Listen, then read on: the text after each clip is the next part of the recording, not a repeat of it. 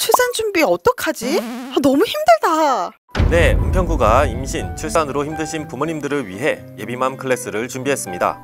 7월 17일과 23일 2회에 걸쳐 진행하는 이번 교육은 산모와 신생아 케어법, 모유수유법, 무드등 만들기를 실시간 온라인으로 가르쳐 드립니다. 신청은 7월 13일까지 은평구 건강가정지원센터 홈페이지를 통해 가능하며 수강료는 무료입니다.